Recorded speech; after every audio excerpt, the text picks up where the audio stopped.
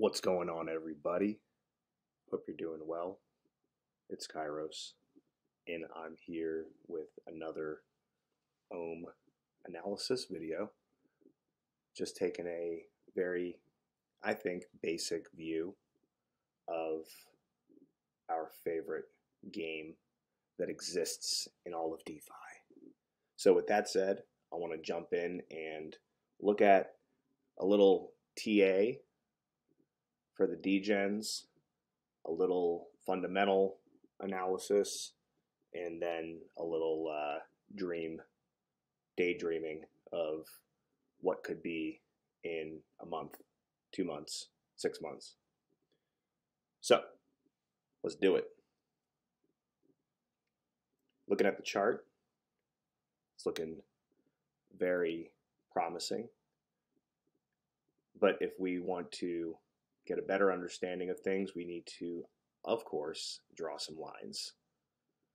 But before we draw lines, I just want to throw a couple indicators up on this and use those perhaps instead of some lines.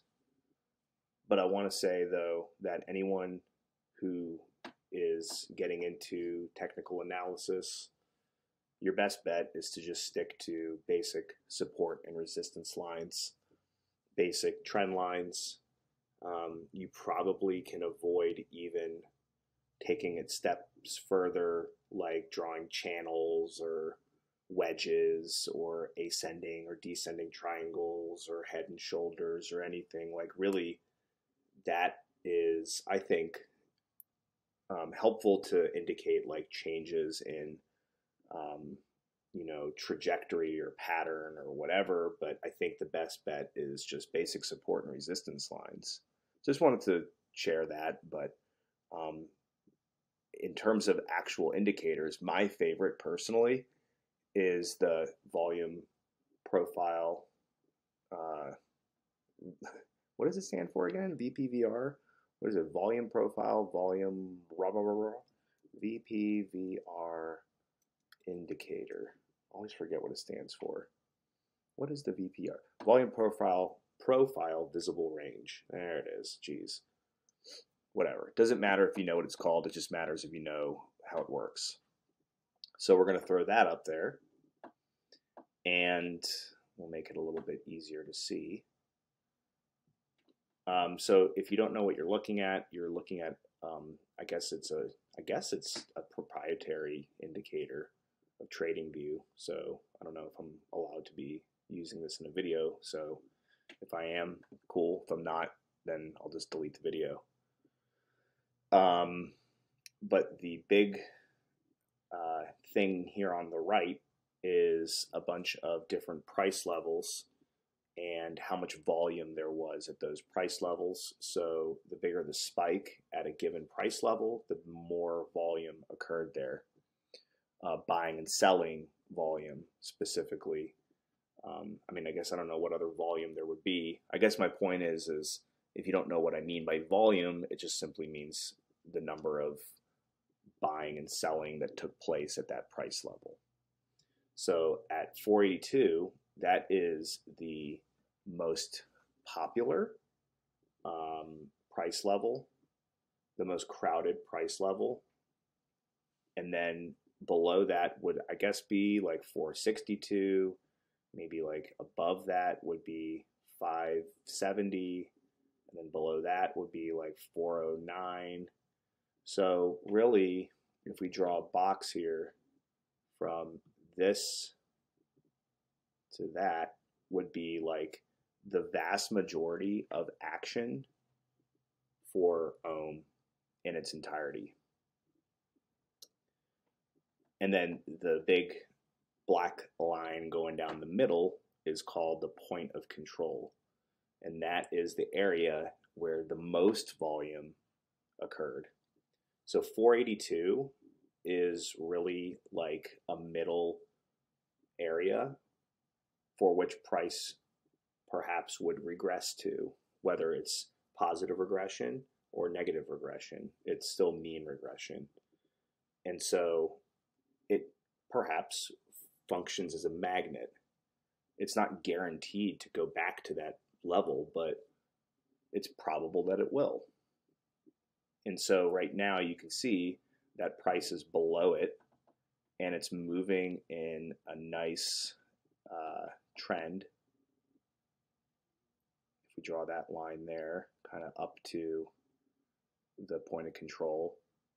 And if we're going to play it with like the bottom of the wicks, then we would look at it like that. But if we would look at it from like the bottom of the candles, then maybe like that. The point is, is it is in an upward trajectory moving up towards the point of control. And if it continues on this path, then it will hit the point of control in early to mid September.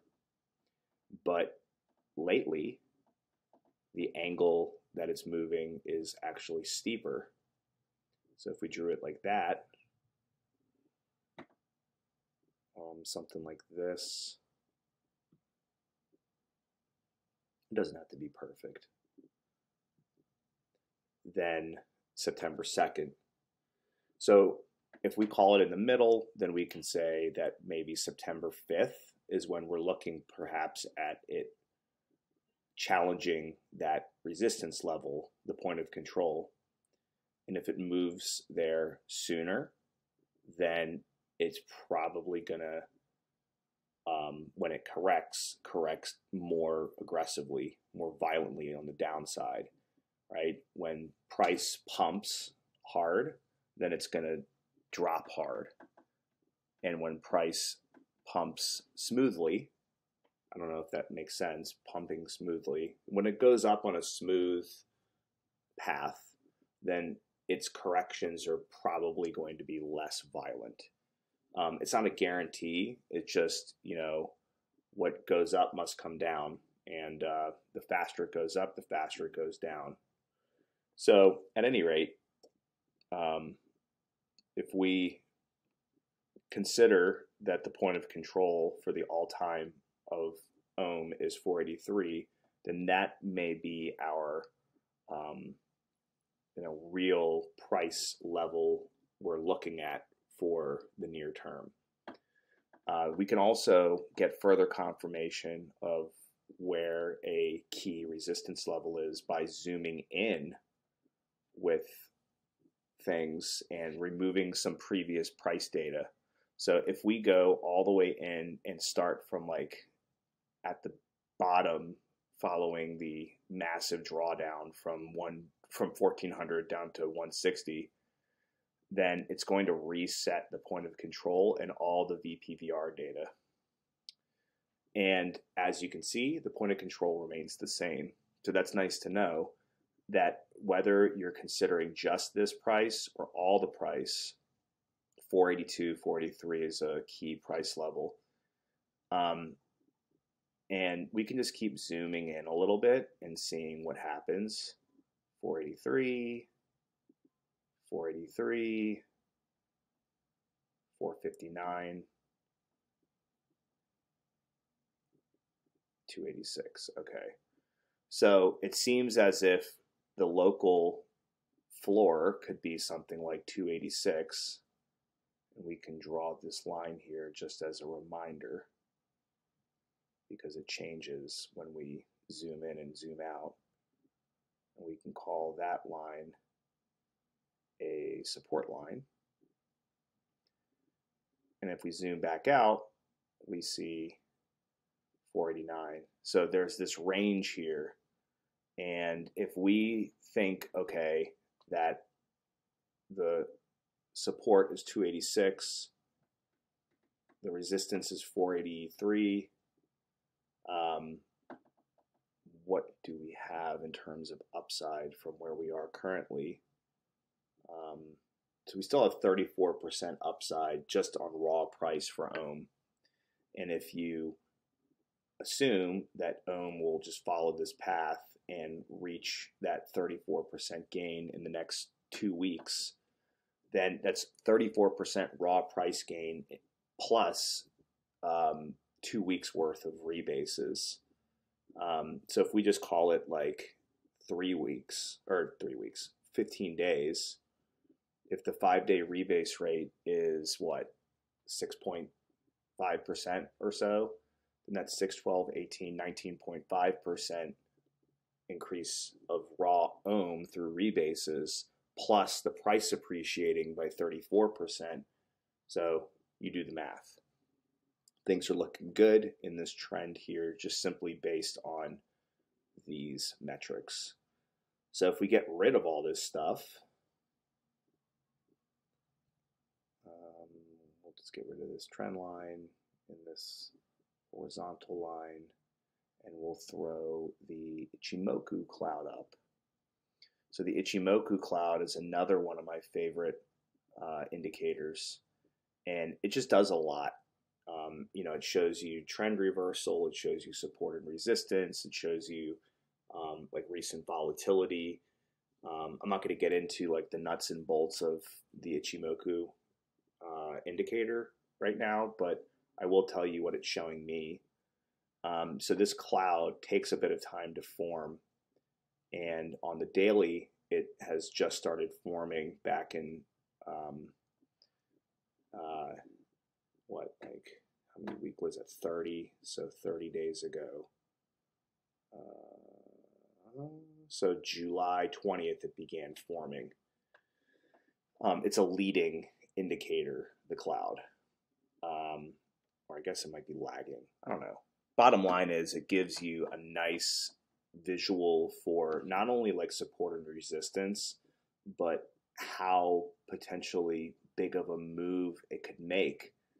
Um, because what typically happens in the situation that Ohm is in right now, I guess I should have left that trend line up, is that Ohm is going up towards that uh, cloud. Um, and actually, I want to draw the point of control as well, just to keep that up there. So I'm going to put a horizontal line at the point of control, and then we'll make it red because it's resistance, and then we'll get VPVR away.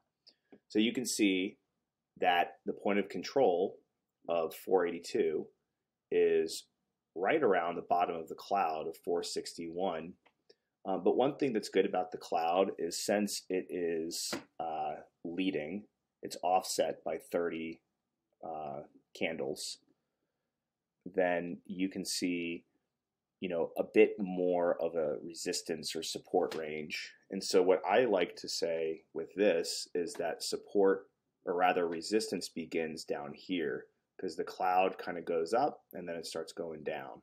So we're going to call resistance from here to the um, to the bottom of the cloud there. But then we can also move it up perhaps and say the point of control as well. And so if we get rid of the Ichimoku cloud, we can see this resistance area where the bottom of it begins, where the cloud starts forming um, in an you know offset you know, uh, 30 days into the future. And then the resistance zone ends at the point of control, which is also like a peak here of the bottom of the cloud. So that I think is a good resistance zone. Um, and it's important to draw resistance zones and support zones because you don't want to like be so precise that you're looking at one exact price as support or one exact price as resistance. Um, I like to use zones. And so this is kind of the situation right now is we could perhaps see price run up here to like 390 um, in the next like you know week and maybe it gets rejected at 390 and then does a correction um, if it were to correct, um, you know, a 50% retrace on the fibs would be down to 306. Um, so, you know, maybe if you're like waiting to get in, um, I mean, just buy it now because rebases, man. but if you're hoping for a dip after this nice run up we've had uh, over the last you know week plus, then maybe your price target could be somewhere between 300 and 330, you know. Um, but let's say that it breaks through the bottom of this resistance zone, continues to run up, um, and gets rejected and dips after it hits the uh, top of this zone, which again is the the higher peak of the bottom of the cloud and the VPVR point of control. And so if it ran up from here to there, then a 50% retrace would be at 352, which is basically the current price. So that's kind of what I'm looking at right now. I'm not even thinking about things up here. And to be honest with you, if they get through the point of control, if we can get through the point of control, um, that's huge because you're moving above what is, in fact, the most popular, crowded price area in all of Ohm's existence, that red line.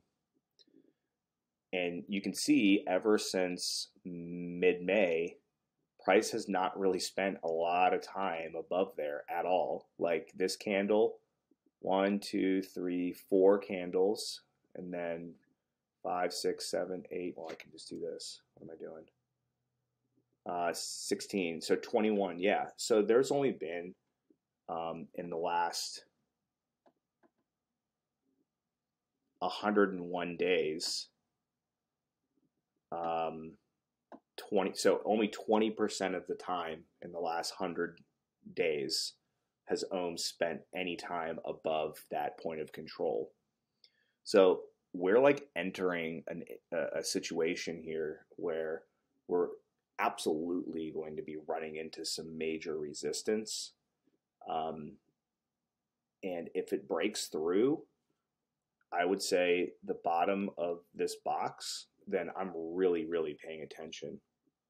Um, you know, I'm not getting worried or anything. I'm just saying, like, that is really bullish if it can get into this resistance box, and then we look we look for what it does to uh, respond when it gets to the point of control, and and if it gets in, if we throw that Ichimoku cloud back up there, then it's likely um, well, it's not likely, but it's it's it's possible for it to do an edge to edge cloud move. Like what is a a common behavior when price gets into a, a cloud, into a thick cloud, especially, is an edge to edge cloud move.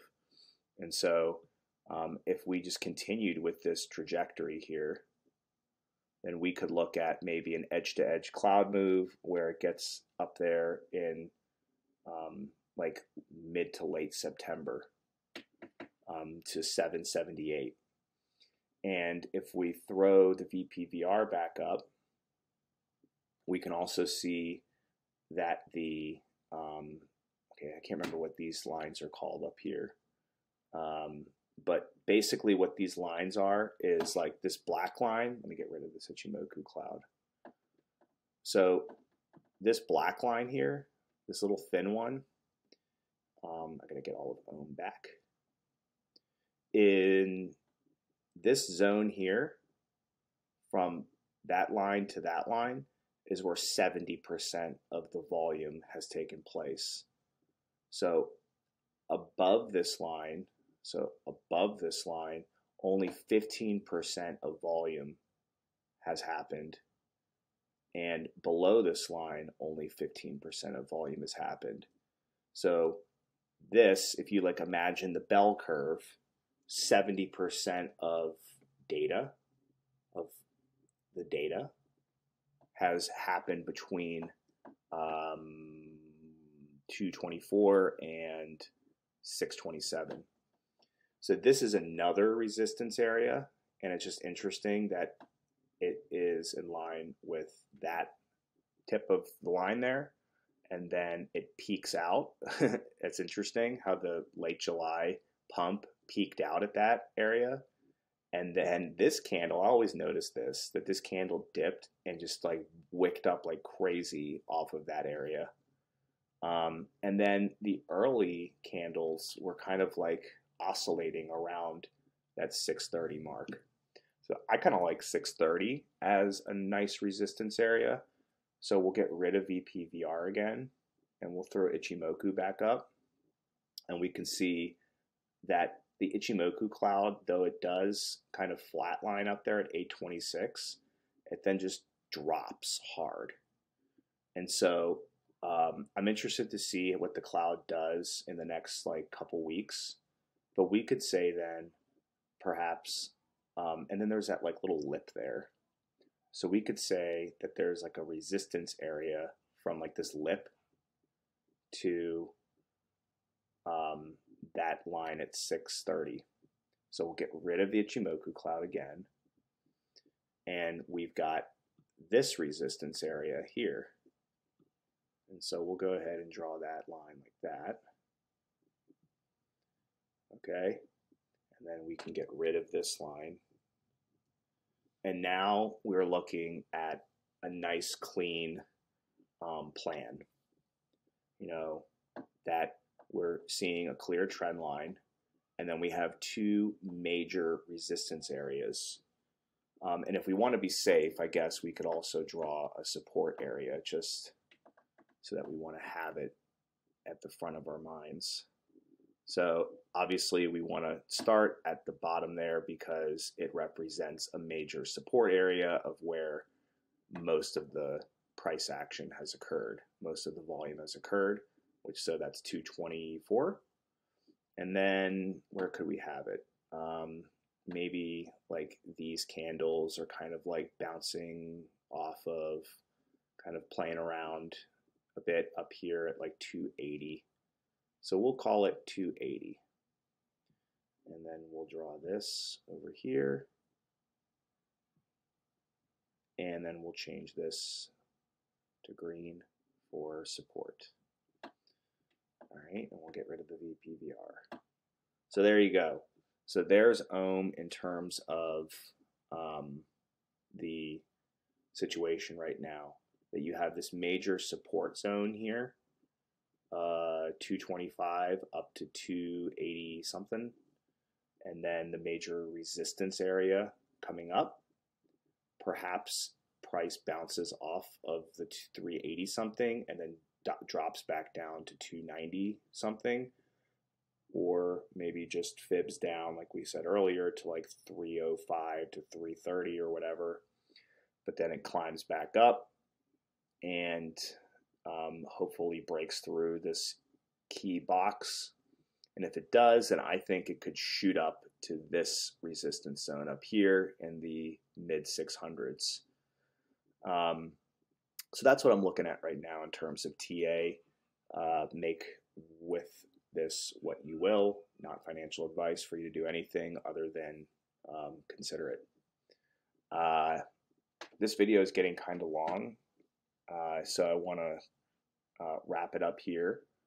Uh, but I'll make a follow-up video immediately after this to look at some fundamentals uh, in a part two.